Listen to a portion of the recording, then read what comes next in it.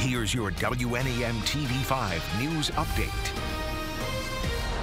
Good morning, I'm Lauren Piesco. Here's a look at the top stories we're following today.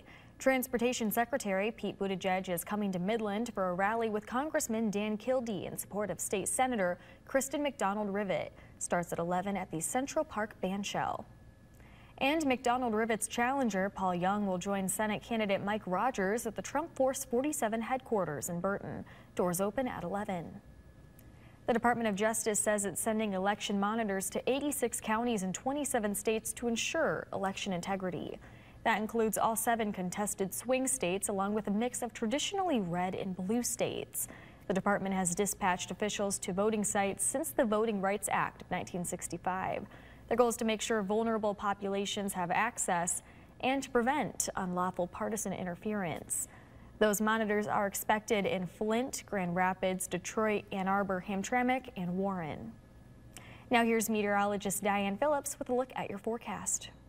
Our weekend is going to be a little bit back and forth, or at least 50-50 on a break here of the conditions that we will be seeing for your Saturday and a Sunday. For today, we have a lot of sunshine that's going to be coming through, mostly sunny skies. But because we are starting out on a cooler note, we will find highs that are only going to be into the lower 50s. By Sunday, we do warm it up a little bit, highs around 54 degrees. But the take is, is that we'll have some rainfall to track. We'll be watching that a little bit later later into the day. But I also want to remind you this weekend is time change weekend. So before you go to bed tonight, don't forget to set your clocks back an hour. You can get up at 2 a.m. and do it, but if you want to get that extra sleep, you could do it before bed. Another thing that you should really take the time to do here during the time change is testing your smoke alarms. This is a great time to make sure that the batteries have not died, and it's always that annual reminder for us when we have the time change. So take advantage of this weekend to kind of check in on a couple of things around the house. By the time we wake up tomorrow morning, our sunrise is then going to be at 7.14 a.m. And then that sunset, however, will be at 5.23 p.m. So we are just shifting that daylight in the day and the hour.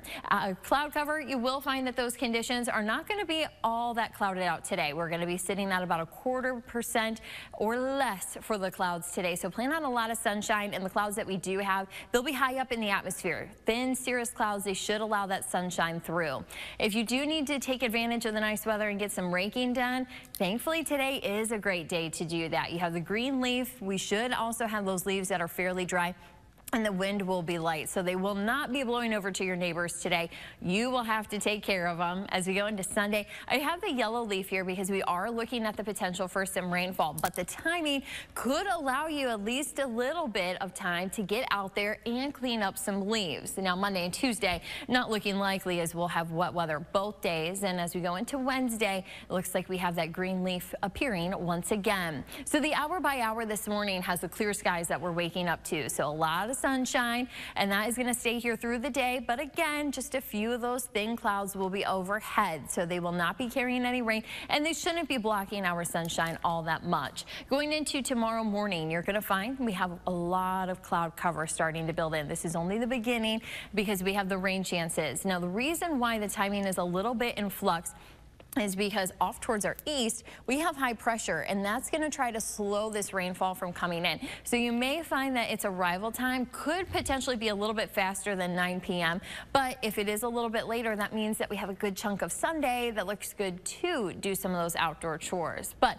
once the rainfall comes in on Sunday, we will be watching then rainy conditions for Monday and Tuesday. Now, highs today, we are looking at the low to mid 50s. Some of us may be able to get past that 51 degree mark, and Yet the sunshine is still going to have to do a lot of work because it is so cool this morning. In the next seven days, we will be looking at breezy weather to go along with the rainfall. So plan on those winds to return, pick back up for Sunday, Monday, and Tuesday. We'll have some rainfall to go along and 60s are on tap for Monday and Tuesday. But those seasonal 50s do return and we will see by late next week that we have some dry weather and sunshine headed our way.